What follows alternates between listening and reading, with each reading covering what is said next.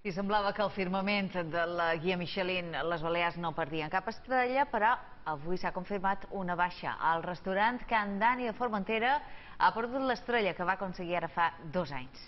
La pèrdua d'aquesta distinció ha sorprès el propietari de l'establiment, Daniel Serra, que assegura que a partir d'ara introduirà canvis a la carta i en revisarà els preus. Diu que aquest any ha estat el millor del restaurant des que va obrir l'any 2011 i en aquesta nova etapa, ja sense una estrella Michelin, el producte local continuarà sent el protagonista.